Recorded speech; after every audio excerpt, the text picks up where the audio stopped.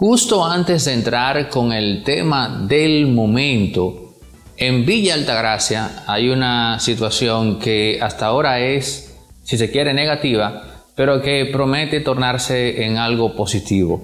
Me enteré que, y esto fue dándole seguimiento al tema del aguaducto de Villa Altagracia, del cual ya hablamos en una ocasión, Wellington Arnott estuvo por ahí y dio la cara, como quien dice. Entiéndase, eh, fue allá a verificar cómo está el tema y se comprometió con la Junta de Vecinos, etcétera, a que esa obra se tenía que entregar sí o sí. No es muy común que los funcionarios den la cara cuando la gente se queja de una obra que no está o si una obra no se entregó en la fecha acordada, etcétera, etcétera. Pero fue allí, dio la cara y la palabra de que esa obra iba a culminarse en su gestión y el hecho de que él vaya directamente y converse con, la gente de ahí va en la línea del perfil o tipo de liderazgo que, que uno promueve. El funcionario tiene que dejarse de creer la gran vaina y tiene que ir a los lugares en cuestión y conversar con la gente. Eso es positivo, por eso lo comento. Y ojalá este tipo de comentarios, no solo que lo hago yo, sino otros colegas, fomenten ese tipo de conducta en los funcionarios. Ahora sí, seguimos con el tema del momento. Venezuela. Y la situación da un giro totalmente inesperado. Nadie veía venir esto ni los que en el chavismo ven con beneplácito la presencia de Leonel Fernández como eh, veedor en ese proceso, ni los, eh, los eh, adversos, aquellos que entienden que simplemente Leonel Fernández no debió ir. Pero junto a él también está como observador el presidente o el expresidente Ernesto Samper y Leonel junto a Ernesto Samper han hecho público un comunicado, no muy corto que digamos, no muy breve, en el cual en síntesis ellos exigen que como solución a cualquier desavenencia que se presente y que desde luego se ha presentado, lo que se haga públicamente vía el Consejo Nacional Electoral, que es el órgano competente en este caso, que se presenten la totalidad de las actas. Este es un tema, o más bien una solicitud que ha hecho la oposición, que se presenten todas las actas. Pues eso mismo acaba de solicitar de forma respetuosa, de forma diplomática, el expresidente Leonel Fernández y Ernesto Samper. Y de inmediato, como esto es un asunto político, eh, vienen las interpretaciones que dicen que o plantean que Leonel Fernández lo que está haciendo en verdad es exigir un conteo de votos. No. Hablar de exigencia de conteos de votos es básicamente retorcer el tema y querer eh, llevar el drama más allá de forma innecesaria. Porque Leonel, si de algo tiene que saber en su condición de tres veces presidente de la República, y que un amigo cercano a él es Roberto Rosario, presidente de la Junta Central Electoral, si de algo tiene que saber Leonel, es de procesos electorales y la parte que tiene que ver con el proceso y el aspecto deontológico, entiéndase el deber dentro de un proceso electoral. Ahí no hay forma de que Leonel pase con ficha, como se dice. Si Leonel dice actas, Leonel no quiere decir que se cuenten los votos. Es más, y aquí voy a ir, como digo, como digo a veces, voy a extender el brazo. Leonel puede estar en su foro interno consciente de que lo que se ha montado allí es una farsa. Vámonos del aspecto moral, del aspecto ético y vámonos al juego de intereses, al poder. Leonel sabe que es una farsa. Se presta para esa farsa. Pero en esa misma línea puede prever la futilidad en la exigencia de la presentación pública de todas las actas. Por eso no le es incómodo y ha de sentir él internamente que no está arriesgando su relación humana de cara a Nicolás Maduro en el momento que publica ese comunicado. Lo leí, repito, no es muy breve que digamos, pero en síntesis lo que está planteando Leonel para prever cualquier desgracia es que en efecto se presenten las actas. Y usted dirá, bueno, pero si el adversario está exigiendo que se presenten todas las actas, entonces, Leonel Fernández le está pichando el juego al enemigo. Puede ser, con toda seguridad, que esta petición a Nicolás Maduro no le caiga muy en gracia por parte de Leonel. Y que tenga que darse una conversación vía telefónica o lo que sea, para que Leonel le explique a Nicolás Maduro a razón de que él hizo junto a el expresidente, su colega Ernesto Samper, la petición de que se publiquen todas las actas. Y sería allí en donde el propio Leonel Fernández le haría entrar en razón a Nicolás Maduro de por qué, oigan bien, por qué es fútil la exigencia que hace la oposición de que se presenten todas las actas. Y aquí usted se dirá, bueno, pero entonces a razón de qué, si eso no es tan capital, la oposición exige que se presenten todas las actas. Y la respuesta es muy simple. Esa gente no sabe de procesos electorales. Esa gente ha participado en procesos, pero no los ha montado. He ahí la gran diferencia. Ellos, repito, ¿eh? ellos han participado en procesos electorales, pero no han participado en el montaje de los mismos. Han participado como actores secundarios porque acá el protagonista es Nicolás Maduro y el Consejo Nacional Electoral. Uno dirige y el otro monta. Entonces, esos son los que saben por dónde le entra el agua al coco. Esos son los que saben cómo se corta el bacalao en ese tema. Así de simple. Entonces, Leonel, me parece a mí, si bien es cierto que se puede hablar de un error de cálculo. Oigan bien, y es importante que esto quede limitado a la frase, se puede hablar de un error de cálculo, porque Leonel sabe perfectamente a qué fue a Venezuela, o a razón de qué fue.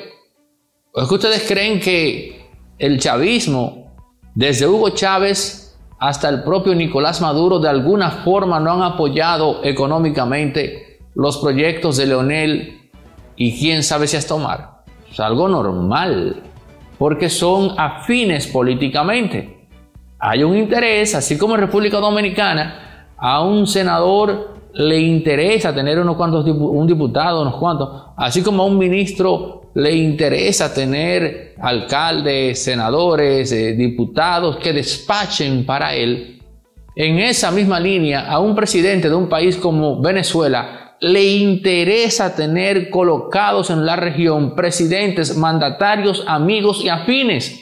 Y si tienen que invertir capital para eso, lo van a hacer. Y más cuando se trata de un país que vende petróleo como Venezuela. Entonces, Leonel, y ya lo expliqué con lujos de detalle en un capítulo anterior, fue ahí por un compromiso del pasado y apostando a que ese compromiso se mantenga en el futuro. Hay elecciones en República Dominicana en el 2028 y Leonel Fernández va a necesitar recursos económicos para competir con el poder. Entonces, si Nicolás Maduro le solicita a Leonel que se dé un paseíto por Venezuela, ¿le va a decir este último que no? Por supuesto que no. Por supuesto que le dirá sí. Así honra pasados detalles y mantiene vivo el compromiso de que en el 28, en caso de que Nicolás Maduro o el chavismo estén en el poder, lo ayuden por acá, lo ayuden con la campaña para que un amigo retorne al poder. Eso es lo que hay detrás de su visita. Naturalmente, el error de cálculo puede residir en el hecho de que Leonel no haya eh, no haya visto, no haya visualizado, y no tiene por qué hacerlo, que la situación en esta ocasión se le saldría de las manos a Nicolás Maduro. Y eso es, en apariencia, lo que se está viendo. Eso es lo que desde acá y en otros países de América Latina se percibe. Señores, Leonel Fernández y Nicolás Maduro son, por lo menos en República Dominicana, los dos nombres que protagonizan esta trama.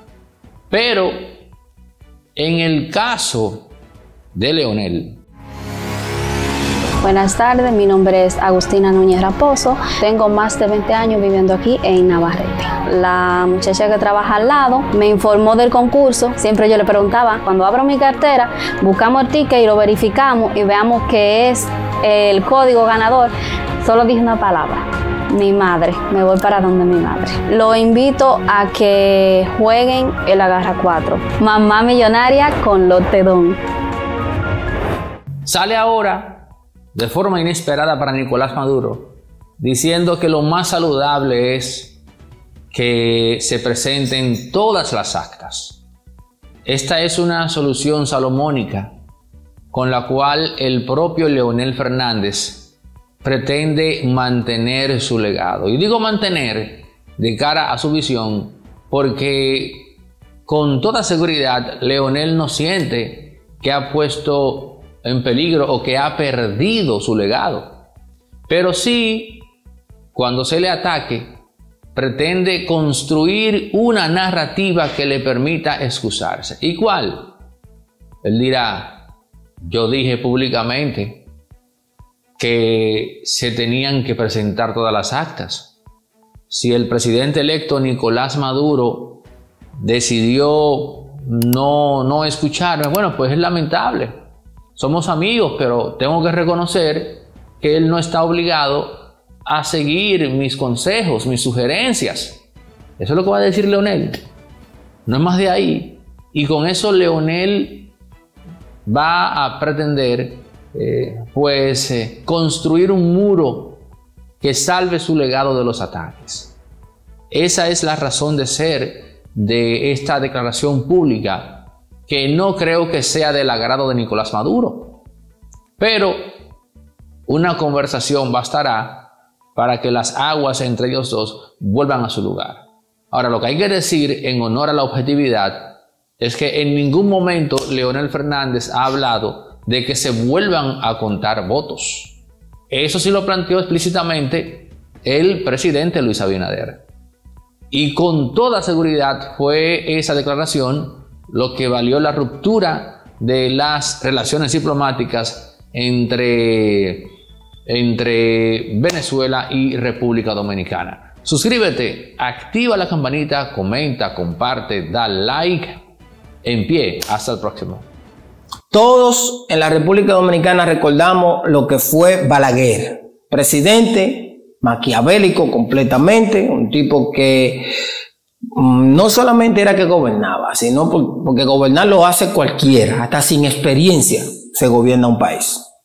El caso de Abinader nunca fue, eh, nunca tuvo un puesto público y hoy es presidente y se va a juramentar nuevamente el 16 de agosto. Eso quiere decir que cualquiera gobierna un país. Pero Balaguer, Balaguer dominaba el poder. Eso es otra cosa, más profunda. Al punto que Balaguer ya siendo un anciano, entendía que todo su entorno le podría hacer daño a este país. Y ya en sus años finales decidió apoyar a Leonel Fernández en contra de Jacinto Peinado. Porque él sabía que si el reformista alcanzaba el poder con otra figura que no era él, este país se iba a convertir en un desastre por todos los diversos políticos corruptos que tenía en su entorno, el anillo que le decían, el anillo del ciego o palaciego que tenía Joaquín Balaguer en su entorno. Entonces, ¿qué hizo Balaguer? Balaguer se llevó el partido reformista a la tumba. Ahora, eso fue un recorrido breve por la historia. Vamos a trasladarnos ahora y vamos a tomar a la figura de Danilo Medina. Danilo Medina aparentemente quiere emular las acciones de Joaquín Balaguer, de llevarse el PLD a la tumba. Se dice que Danilo Medina tiene cáncer, ahí no ha trascendido si se sanó o no. Otros dicen que ese cáncer fue un cáncer de periódico, que era solamente para que no lo procesaran. Pero el señor Danilo Medina, después de decir que ya no quería ser presidente del PLD, luego que sí, y luego ahora en el Congreso del PLD, 35 de 40 miembros del comité político dijeron que sí, o del comité central o algo así, dijeron que sí, que era el señor Danilo Medina que tenía que presidir ese partido. Danilo, que lo más que tiene en este momento es tasa de rechazo. Danilo, que tiene un impedimento constitucional de poder reelegirse en la República Dominicana, o postularse más bien a la presidencia de la República Dominicana. Danilo Medina, que pasó de tener el poder el PLD por 16 años continuos a él dividir el partido con la escogencia de su candidato, de su penco, de su delfín, y dividió el partido. Y de tener el poder por 16 años, perdieron las elecciones y bajaron de tener más de 50% en cada una de ellas a un 37%. De nuevo ahora en las elecciones del 2020, de un 37 con el uso y abuso de los recursos del Estado, pasó a un 10%, con otro candidato mal, un candidato insípido, como lo fue Abel Martínez. Ahora, el señor Danilo Medina vuelve a la presidencia del PLD porque su plan es única y exclusivamente el día que lo lleven al Campo Santo y la, y la caja de muertos donde van a tirar su cuerpo ahí, la entren en el hoyo y le tiren la última eh, pala de tierra, junto con él se vaya el PLD con él y ya desaparezca de la sociedad dominicana el legado o la historia de lo que fue el partido del profesor Juan Bosch. Con Danilo en la presidencia del PLD, lo único que le espera a ese partido político, y con esto me despido, es la extinción de eh, como partido en este país. Yo soy Melvin Sena y nos vemos en la próxima. Bueno, mi gente, ya la procuradora de la República, Miriam Germán, se despidió en un acto donde eh, estaba rindiendo cuentas y estaba también diciendo los logros que esta obtuvo en su gestión como procuradora de la República. Ella dijo, y así lo titularon los diferentes medios de la República Dominicana, yo ni gané ni perdí. Pero ella está equivocada. Probablemente, cuando ella se refiere a ganar, no se refiere a que ella fue a esa posición a lucrarse de dinero. Yo creo también que ella no, no fue a eso. Yo, yo comparto esa parte.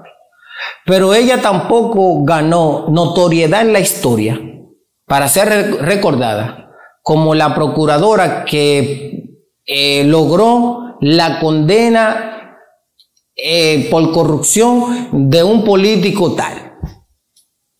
Ella no va a pasar a la historia, no ganó el derecho de pasar a la historia como la procuradora que pudo hacer cambios importantes en el sistema carcerario de la República Dominicana. Ella no se ganó el derecho de ser recordada en la historia como la procuradora que ah, pudo hacer cambios significativos con los fiscales para que sean más efectivos y que los casos no se dilaten tanto. Ella no se ganó el derecho de ser recordada en la historia como la procuradora que eliminó el abuso de la prisión preventiva en la República Dominicana. Ella no se ganó nada de eso.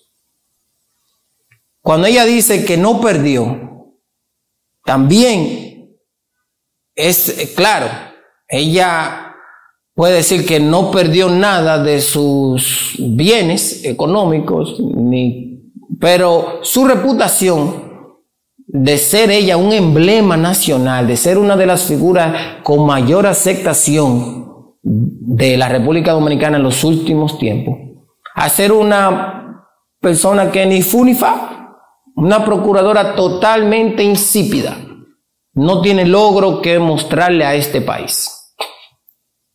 Perdió la oportunidad de pasar a la historia como una procuradora eh, eficiente, como una procuradora transparente. No podemos decir de eso porque fue en esa procuraduría que se detuvieron los contratos y los trabajos de la cárcel Las Parras y luego se le hizo un anexo al contrato de las cárceles Parras. Entonces ella perdió la oportunidad de ser transparente en ese sentido también. Nada personal con la figura de Miriam Germán. Pero en este país nadie, absolutamente nadie puede mostrar un logro importante y trascendente de la gestión de Miriam Germán como procuradora en la República Dominicana. Se va y muchos de los uh, genoflexos al poder dicen que el próximo procurador tiene que tener una figura independiente como la de Miriam Germán. Mentira del diablo. Miriam Germán no, fue todo menos una figura independiente, porque ni, ni pudo someter a la corrupción del pasado a la ley, ni pudo someter a la corrupción actual a la ley.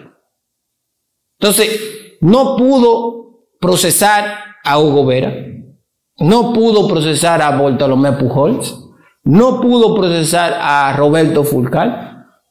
Lo único que puede mostrar, y creo que ya está en la calle, es el ex director de la Lotería Nacional, porque no tenía nada que ver de la Operación 13. Creo que es lo único. Y creo que ya está en la calle, porque ni siquiera tenía nada que ver. Pero las grandes mafias siguen intactas ahí. Aquí todo el mundo sigue haciendo lo que le da la gana en el Estado. Porque primero tienen la anuencia de Carlos Pimentel, que busca justificar todo. Luego pasa por Milagro Ortiz Bosque, para todo es susanable. Y luego está la Procuraduría que no hace nada. La corrupción del pasado, la corrupción de ahora y la corrupción que venga, con el actual sistema de justicia de la República Dominicana, tiene los actos de corrupción garantizados con impunidad. Miriam Germán que creo yo que ya aportó bastante como jueza en su momento, cuando lo fue. Se recuerda esa también, esa carta que ella le mandó al doctor Balaguer desafiante. Y desde ese momento tomó notoriedad en este país.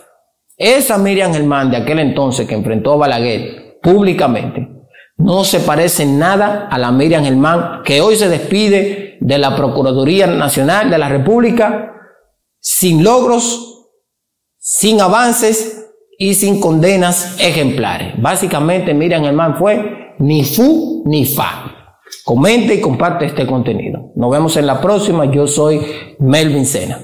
Resorte Media es también productora audiovisual y aquí tenemos espacios eh, rentables para producir contenido pero también si tu empresa tiene una actividad fuera y va a hacer una transmisión en tiempo real, puedes contar con Resorte Media. También si necesitas alquilar equipos para filmaciones de películas o eventos, tenemos grúas de 40, 20 pies en fin, otra cosa, artista independiente que tiene que hacer un videoclip en calidad 8K, 6K eh, con imágenes eh, de stock, bueno, pues lo podemos hacer acá en circuito cerrado con los presupuestos más competitivos. Pero si también eh, requieres asesoría para la producción de contenidos en plataformas como YouTube, también puedes contar con nosotros. Resorte Media, todo lo que necesitas en todos los ámbitos cuando se trata de producción audiovisual. 829-741-3061.